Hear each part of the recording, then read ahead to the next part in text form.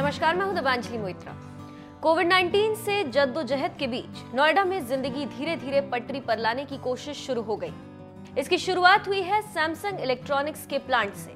नोएडा के सेक्टर 81 स्थित Samsung electronics के प्लांट में अब काम शुरू हो गया। शुक्रवार को 3000 मजदूरों के साथ कंपनी ने कामकाज शुरू कर दिया। इन सभी कर्मचारियों को बसों के ज़रिए फैक्ट्री तक लाया गया था। कोविड 19 की वजह से देश इस वक्त तीसरे दौर के लॉकडाउन में अर्थव्यवस्था को पटरी पर लाने के लिए इस लॉकडाउन में सरकार ने कुछ छूट दी। इन्हीं छूटों में एक है सीमित कर्मचारियों के साथ काम करने की मंजूरी।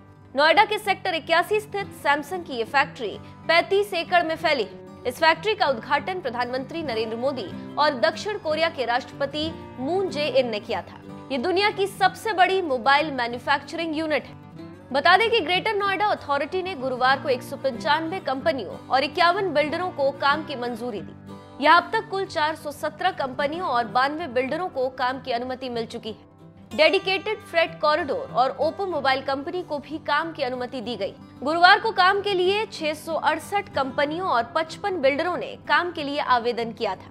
बिल्डरों के चार आवेदन रिजेक्ट हो गए। बंद पड़े रोज़गार को शुरू करने के लिए नोएडा अथॉरिटी के पास लगभग 2200 इंडस्ट्री ने अप्लाई किया था, जिनमें से बुधवार तक 620 इंडस्ट्री को एनओसी दे दी गई और 1500 आवेदन को रद्द कर दिया गया।